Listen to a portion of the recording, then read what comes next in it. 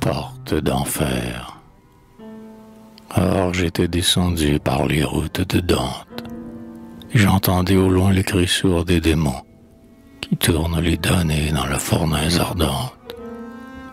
Et j'allais, et j'allais, escaladant les monts, traversant les forêts et longeant sur les plages les lacs luants et qui dormaient dans l'algue et les limons. Seul, j'allais, sous le ciel tout saignant de nuages, dans la lumière fauve et louche du couchant. Et j'allais, je marchais bien longtemps, bien des heures.